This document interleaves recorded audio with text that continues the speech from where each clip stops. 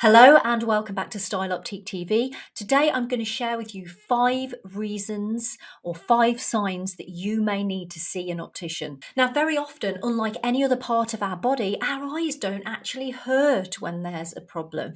There are many eye related diseases that very often do not show any symptoms at all and rely upon regular eye examinations to be picked up and treated. And likewise, it's not always easy to know whether you need glasses or not. However, there are several signs that you can look out for that suggest that you need to see an optician sooner rather than later. The first one is if you have frequent headaches. If you are getting headaches most days, this could be a sign that you actually need glasses. It's one of the most common signs, actually, of people who require glasses. If you are long sighted or short sighted, and your eyes are not being corrected and you're and they're under strain every day, this can actually cause daily headaches. In rare cases, headaches can also be caused by something called closed angle glaucoma, which is when the pressure in the eye rises up really, really quickly and can cause intense eye and head pain, and also something called anterior uveitis, which is an inflammation of the eyes. This can also cause headaches in and around the eye. Headaches can be caused by something called papilledema, which is a swelling of the optic nerve, which can be picked up in an eye examination.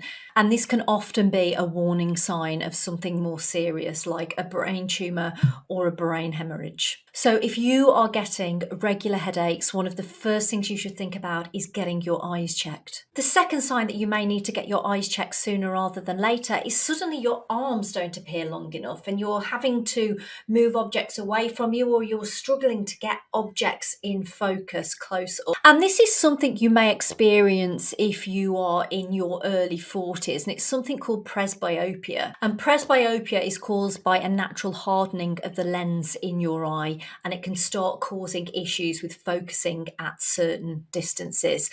And this is the time very often in most people's lives that they need to start thinking about reading glasses, perhaps uh, a varifocal, or if you are short sighted, you may actually find at this point in your life that your glasses, which have worked for you for years, for everything, you now may need to start taking them off to read. But if you're noticing any of these symptoms, then it's a sign that you need to get booked in for your eye examination. The third reason you might need to think about having your eye examination is if you are suffering with red eye.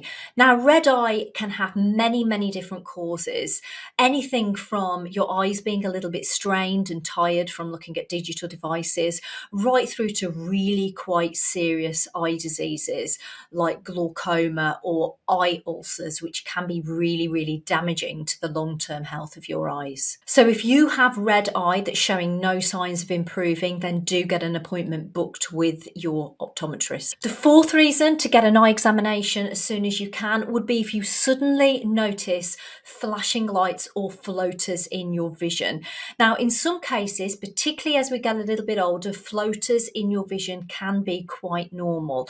But if you experience experience a sudden onset of them, accompanied with flashing lights or any visual disturbances, it is very, very important that you do get checked out at your opticians as soon as you can. Flashing lights and floaters are completely normal, but in very rare cases, they can be one of the earliest signs of a retinal detachment, which can cause blindness if not treated immediately. Fifth reason to have an eye test is if you can't remember when your last eye test was.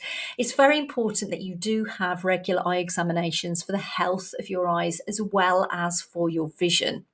And it is recommended that you have an eye test at least every two years.